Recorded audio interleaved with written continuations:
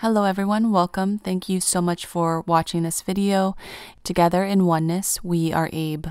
This video is going to be a continuation of the lost knowledge of soul origins, the seven rays of light.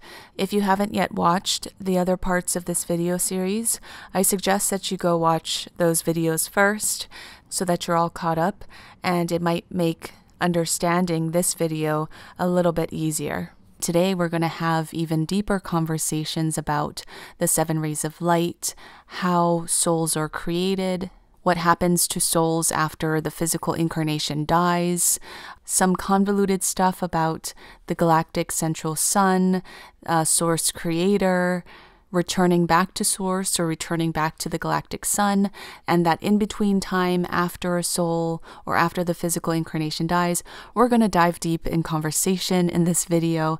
And to expand upon the seven rays of light, we're going to talk about the seven rays of light as crystalline grids. And this is more so regarding the seven rays of light when interpreted into the physical. So let's get right into it.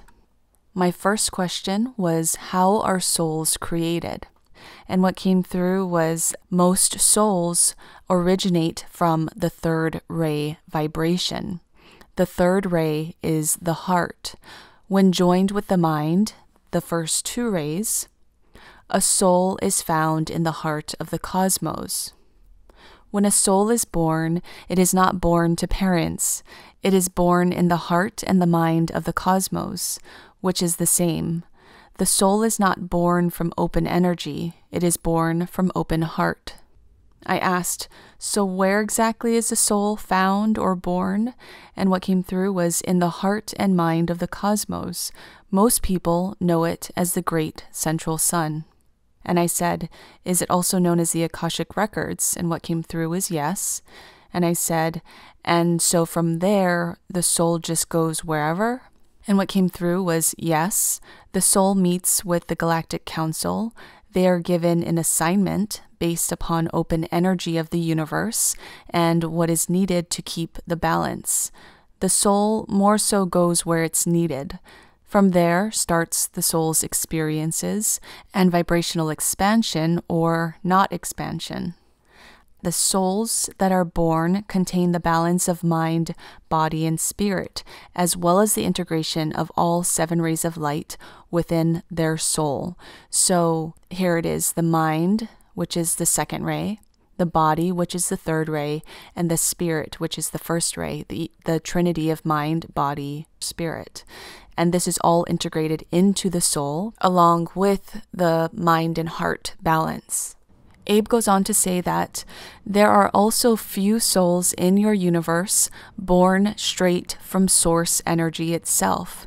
They are born with the vibration of the first and second rays of light, and when they die, they will return back to source.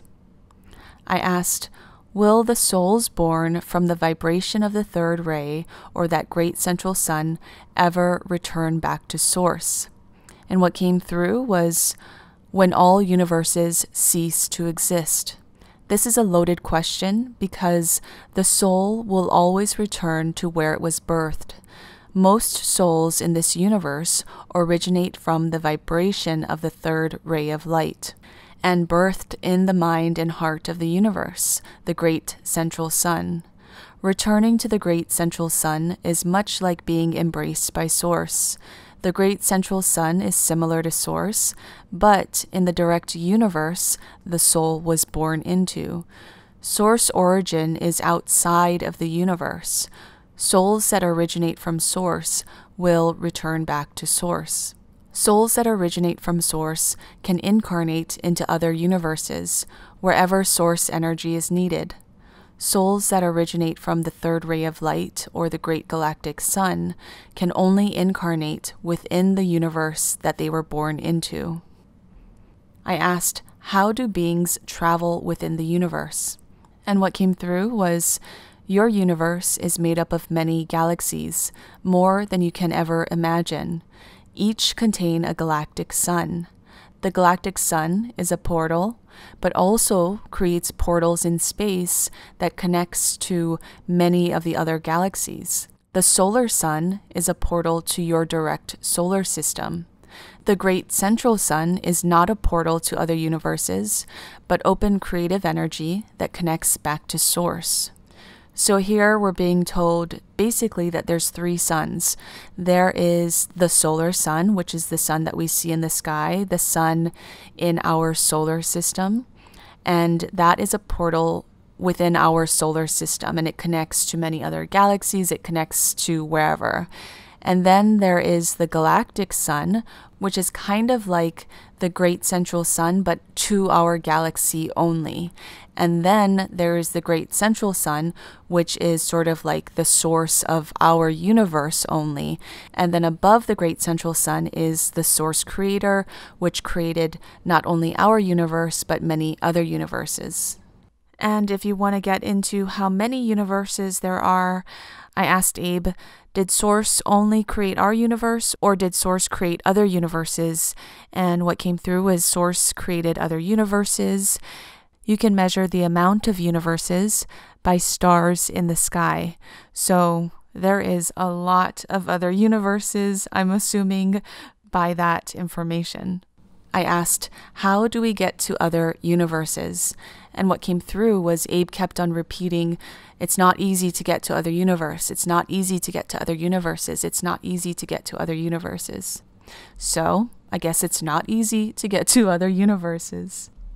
My next question was So, after a person dies, does their soul go back to or reintegrate with the ray that they most associate with? So, for example, if in a lifetime a, a person in the physical body or the soul is able to vibrate at the fifth ray, when the, the physical vessel dies, does that soul integrate with the fifth ray vibration or energy? Or does the soul go back to the third ray which it was born from? And what came through was no, the seven rays are like crystalline grids that vibrate at unique frequencies. Souls do not go back to the crystalline grid, they create from the space of the energetic crystalline grid, the ray of light, that they energetically align to. Most lightworkers on Earth are vibrationally aligning to the third ray and the central fifth ray. Central to fourth ray vibration is open hearts. Some humans, meaning non lightworkers, are vibrationally aligning to the sixth and the seventh rays of light.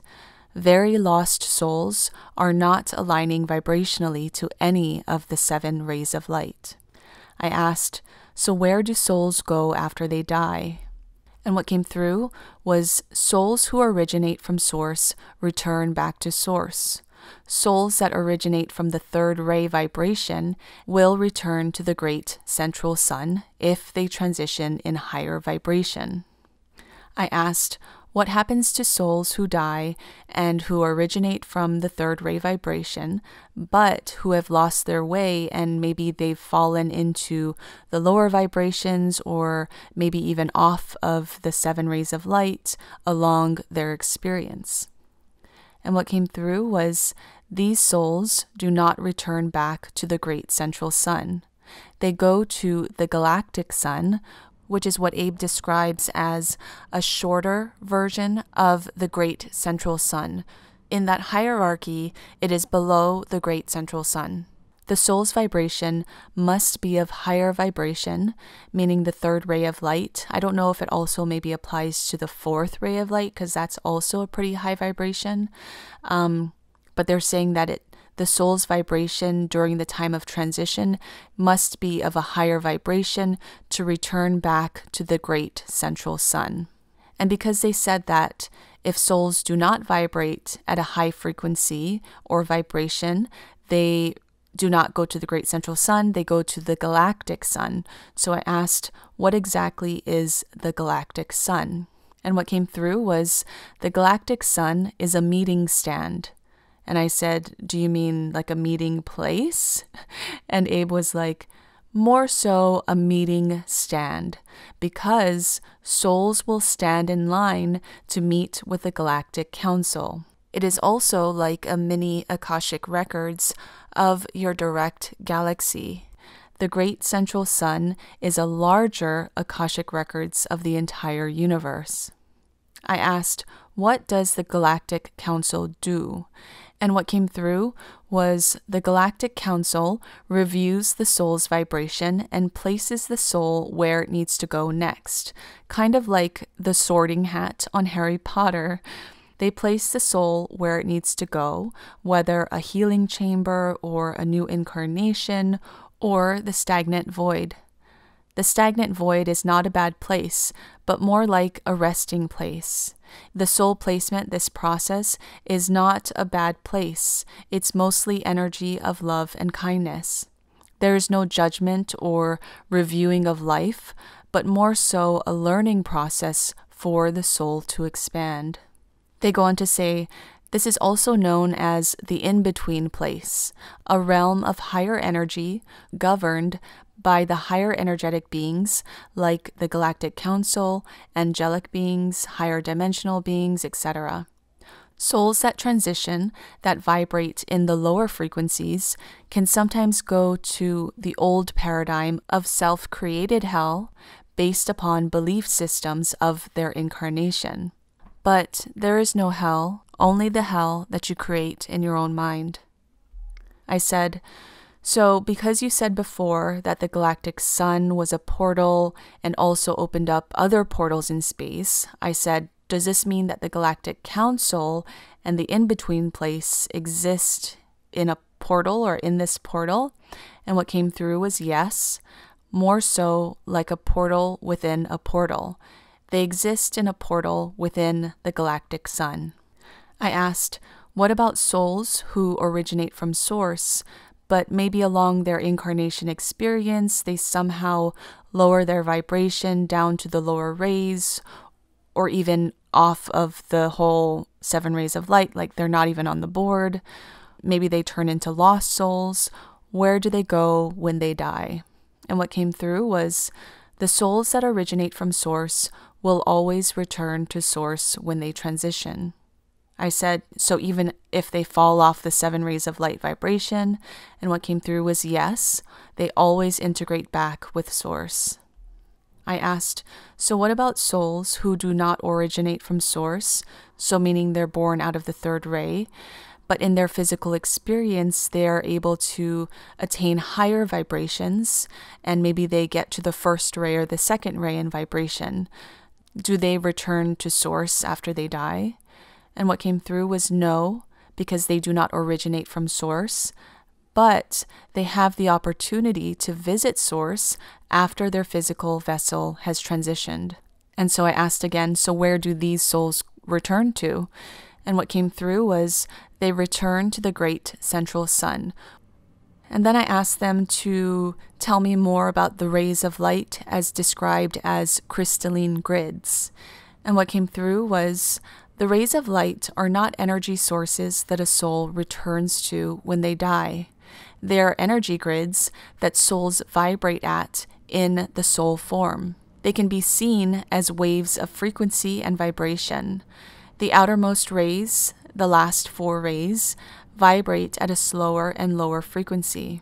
The higher rays, the closer to source, such as the first three rays, vibrate at a faster, higher frequency.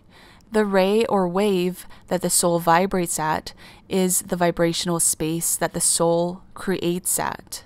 Abe says that it is the vibrational space that the soul creates in the non physical, which ultimately trickle down into the physical. So I asked them to tell me more about the first ray crystalline grid. The vibration of this ray and this crystalline grid is usually opened only up into the non physical soul level. The first ray crystalline grid is all about energy directly from source into the non physical open energy. It is God energy. Creating from this grid is creating worlds in the image of God. It is God like, and it represents the spirit in the mind body spirit trinity. Then I asked them to tell me more about the second ray crystalline grid. The vibration of this ray and crystalline grid is usually only opened up in the non physical soul level. The second ray crystalline grid opens universal knowledge into the non physical open energy. Creating from this grid is creating thought of God into the non physical. It is that God mind that holds knowledge. It represents the mind in the mind body spirit trinity. The third ray crystalline grid, this is the vibration that usually only opens up in the non physical soul level. The third ray crystalline grid opens love and life directly from open creative energy. Creating from this grid is pulling love directly from the universe into the soul or the body or the form in the non physical. It is that God image or image of God, and it represents the body in the mind body spirit trinity. The fourth ray crystalline grid, the vibration of this ray and crystalline grid opens up to both the non physical and the physical. However, keep in mind that the physical um, interpretation is a further refraction of the non physical interpretation. So it has the chance to sort of get a little bit distorted or skewed because it's being further refracted from the original seven rays of light. The fourth ray crystalline grid is about that pure balance of mind, body, and spirit in both the physical and the non physical soul level.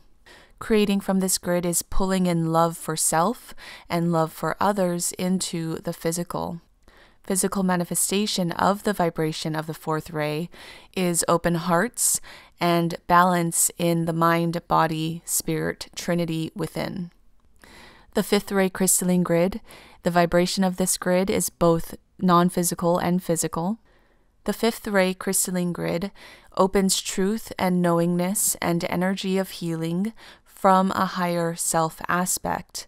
It opens knowing the truth from source in both the physical and the non physical soul, meaning knowing that source is within and that you are a part of source. Creating from this space is creating from a place of truth and knowingness of the higher self and source, and also pulling in creative energy of healing through thought. Physical manifestation of this ray is healing and knowing oneness in the physical. The sixth ray crystalline grid, this vibration can also be opened up or interpreted both in the non physical and the physical. The sixth ray crystalline grid opens the ability to create and manifest in the physical and the non physical from divine inspiration and spiritual insight. This is about mastering the art of manifestation.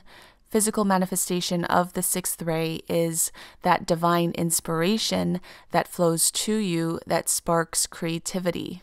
Physical manifestation is also having that alignment with your physical and non physical divine body. Um, so it's like that alignment that helps you to manifest and create things as well. And finally, the seventh ray crystalline grid. This vibration is also opened up in both the non physical and the physical. The seventh ray crystalline grid is all about recognition recognition of inner power and strength as a non physical being having a physical experience. So, this opens the physical into that connection with the non physical soul, and it opens the soul into having that connection to its further journey of expansion. So, creating from this space is recognizing your power within to create your own reality from a non physical, vibrational, higher frequency space. But first, you have to have that recognition that you are non physical energy having a physical experience. And from there, you can start to work within that non physical vibrational space, that higher frequency space, in order to start creating your reality physical manifestation of the seventh ray is also the shifting of your energy and your thoughts and your feelings so that you're existing more so in a higher vibrational space. Abe goes on to say that the sixth and the seventh rays of light, but specifically, I think the sixth ray of light, were the crystalline grid, the non physical vibrational vortex that we, as Abraham Hicks, spoke of when we talked about getting into your vortex to create and then pull into your physical reality. We were shifting humans from creating unconsciously in the physical space into creating consciously in the non physical vibrational vortex and then aligning to your creations in the physical. This is the act of mastering your ability as manifestors on a physical planet, creating in the non physical space first. You create with your thoughts first in the non physical, and then you speak it into manifestation not so much speak per se, but more so pulling it into your physical experience. We say speak because it very much aligns with the first, second, and third rays of light in terms of that vibration of word opening up or birthing that third ray of light from the first and second rays that vibration or the word has the ability and the power to bring that vibration into your physical or interpret it into your physical as well as through your soul to manifest thought into something real or manifested. The seventh ray is all about opening yourself up in the physical to realize that you are a non physical being or energy having a physical experience. This allows you to recognize your ability as conscious creators, shifting your thoughts and consciousness, manifesting first your thoughts and feelings, and getting into this higher vibrational space. The sixth ray allows you to play with the energy of universal energy and create through your inspiration, create through that higher vibrational space, manifesting your desires, your dreams, your thoughts, and turning it into things. They then go on to say that the purpose of the soul is expansion. As the soul expands, it climbs the ladder of the seven rays and vibrates to whatever ray that it can. Usually, an incarnation on a lower vibrational planet, such as 3D Earth, will plunge the soul into the lower rays, most likely the seventh ray, sometimes below or off the chart, off of the grid. And I asked why. And what came through was because the experience on the planet will pull the soul down vibrationally. And I asked, but can't the soul hold a higher vibration for the physical incarnation? And what came through was not if the physical incarnation cannot hold the higher vibration for the soul. They are connected to each other. Open energy between the soul and the physical body is not separate. One cannot hold high vibrational energy and the other not. Lower frequency humans have lower frequency souls. Most humans, unfortunately, are not high frequency. This is why many souls were not able to do anything to stop the karmic cycle when it was happening on earth. The souls were stuck just as much as the physical incarnations. Energy of the seventh ray and below are very slow, it's like quicksand. The soul needs to get out of the quicksand to get to the higher rays.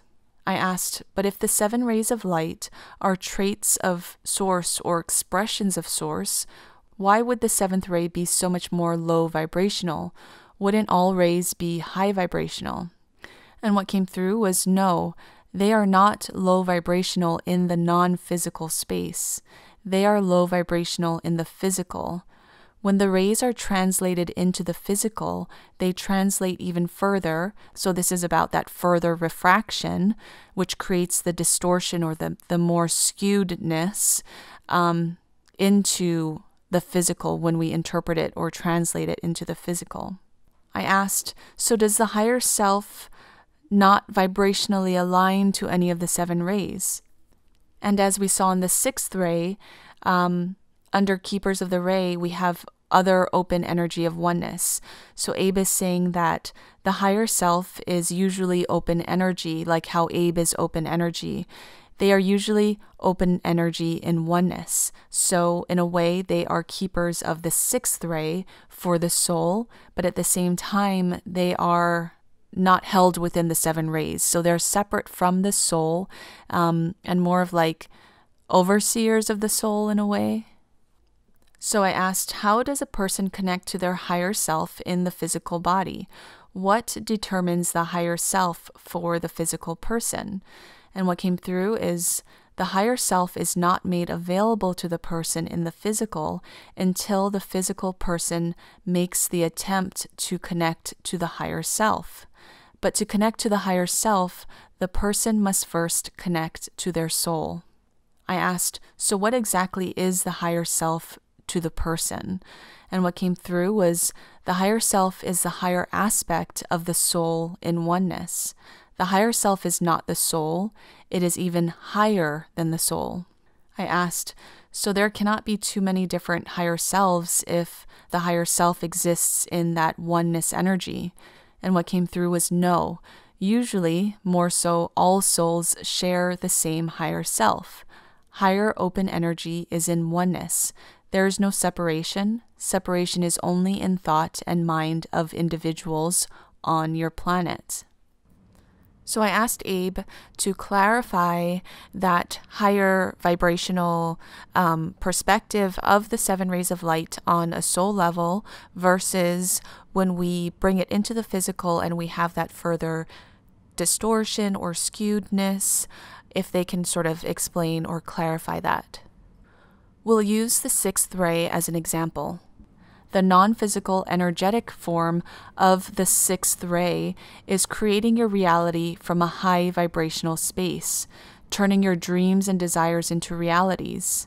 That physical, distorted, skewed energetic form of the sixth ray is creating your reality from a low vibrational space, creating through reaction and focusing on what you do not want and bringing that into your reality.